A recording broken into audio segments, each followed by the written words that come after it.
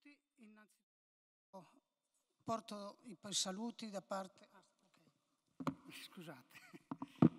I saluti del nostro Presidente Gino Gandolfi che oggi non ha potuto presenziare a questo incontro e anche da parte di tutto il Consiglio di amministrazione.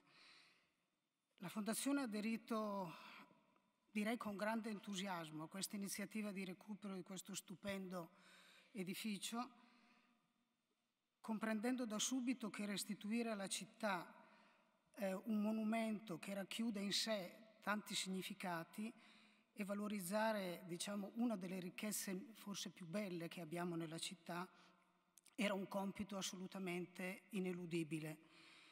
Eh, l'importanza di, diciamo, di recuperare i valori artistici e culturali che possediamo in questa città ma anche e soprattutto quelli che hanno un risvolto di tipo spirituale e anche sociale, come è stato ricordato poco fa, aiuta sensibilmente a sentirci più comunità e a, diciamo, a creare e a sviluppare maggiori iniziative, maggiori luoghi condivisi nei quali diciamo, ci sia, venga come dire, potenziata eh, eh, fatta rinascere in un certo senso la capacità di stupirci per il bello e per il buono.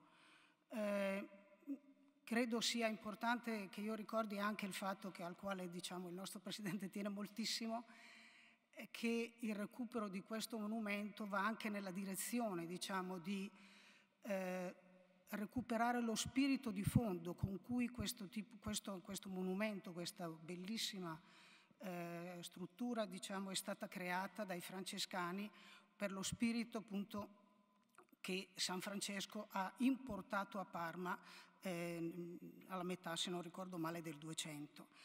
Quindi eh, per concludere vorrei dire che la partecipazione della Fondazione è piena di stupore da un lato e piena di entusiasmo dall'altro lato e quindi ci auguriamo che questo, diciamo, questo recupero eh, diventi per la città un simbolo, come dicevo prima, di solidarietà, di socialità maggiore e di spiritualità maggiore.